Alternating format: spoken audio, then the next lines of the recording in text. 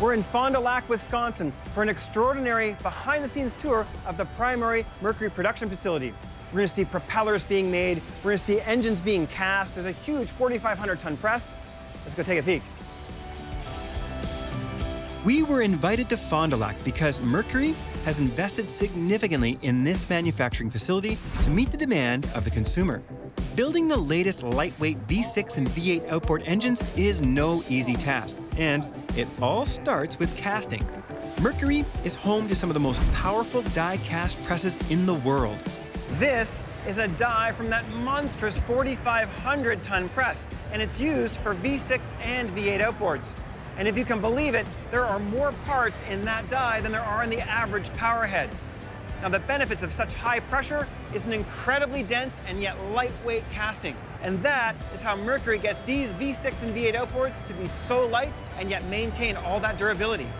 Uh, a die cast machine is, essence, a large hydraulic press. We scoop the molten aluminum up with a ladle, pour it in a large tube. A piston pushes that molten aluminum through the tube up between the two die halves. It holds it on pressure for a short amount of time. There's water lines that are plumbed inside to die. The water lines are activated, so it accelerates the cooling process. So molten aluminum goes from liquid state to a solid state in a matter of seconds. A robot goes in, grabs the casting, and basically it's ready for an exit conveyor. Various component castings are formed using this same process. Once cool, unwanted elements from the molding process are cut away, collected, and recycled. Having the foundry on site allows the scraps to get reduced back to molten aluminum.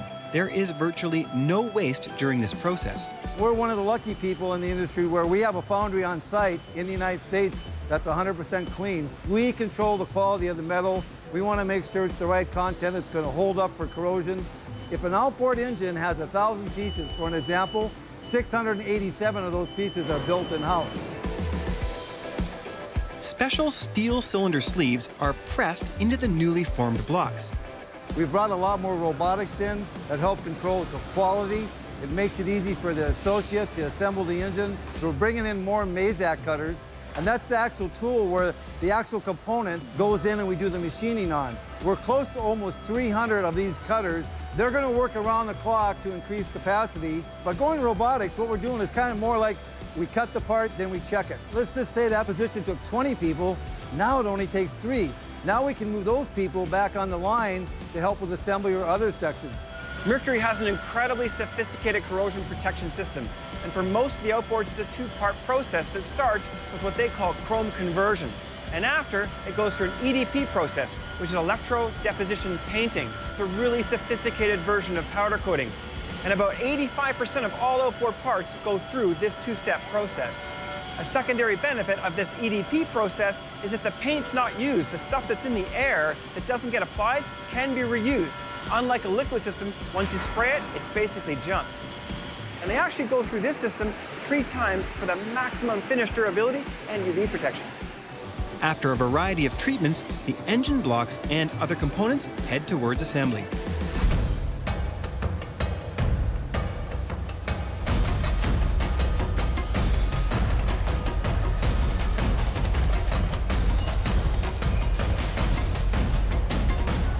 2008, we've invested over $1.1 billion in our manufacturing footprint. And that's really been driven by amazing investment in our products. And clearly, to make those kind of products, we need to invest in how we manufacture them.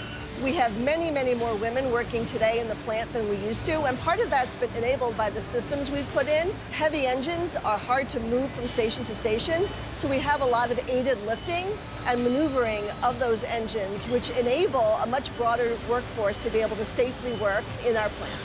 The employee engagement we have across Mercury is amazing. We couldn't do what we do without every single employee in this building.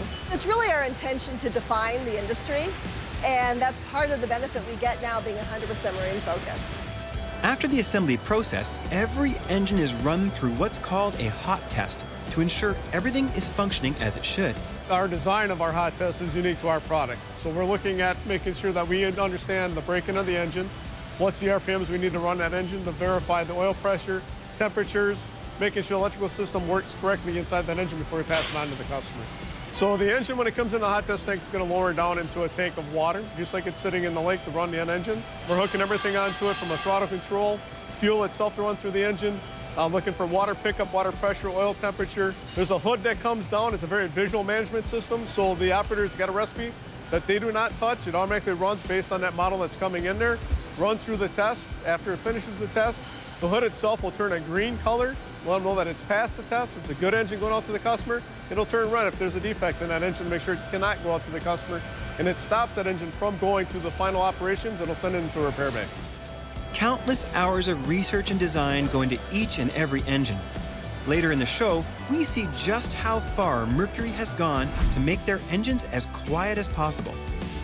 We will also see what steps are involved in manufacturing propellers.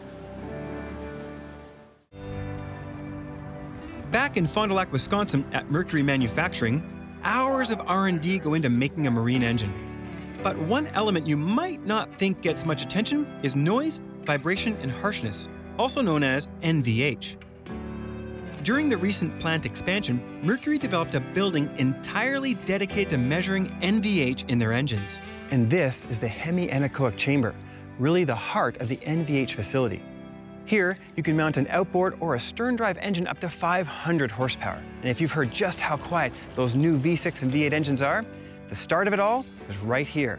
We're constantly trying to go after the best data we can.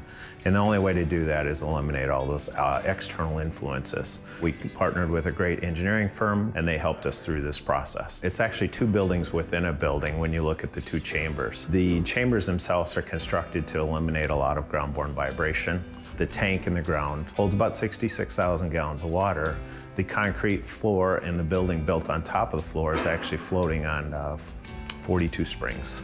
When we were in the midst of uh, developing one of our outboards, our product engineers, because the quietness of the room, actually heard a whistle Probably not something you generally hear at the dock. It took us a while to figure out what it was, but it turned out that it was actually the wind from the flywheel creating a vortice across the crank position sensor. And we actually redesigned the shape of the crank position sensor so that it eliminates that whistle. It is a unique tool set for us, and in order for us to maintain our, our advantage in the NVH side of the business, uh, we feel it's necessary to continue that investment. And uh, we're happy to see that they support that idea. Next on tour was the Mercury Propeller Factory. They are so good at what they do that they not only manufacture propellers for Mercury outboard and inboard outboard engines, they also make propellers for other leading engine manufacturers as well. Market share for stainless steel propellers worldwide, Mercury is a dominant player in the uh, outboard and stern drive marketplace with class-leading market share for our products, which is really driven by, number one, the fantastic engine products. We get to benefit from that but we also benefit from the performance that we bring to the table such that our products not only used on Mercury products, but for customers who run competitive product from Yamaha, BRP, Suzuki, know that if they want to get the best performance out of their boat, they run a Mercury propeller on their boat. So what we're talking about today is called investment casting, also referred to as lost wax casting. We actually start with a tool. 140 degree molten wax is actually injected into that die to create a wax copy of the propeller.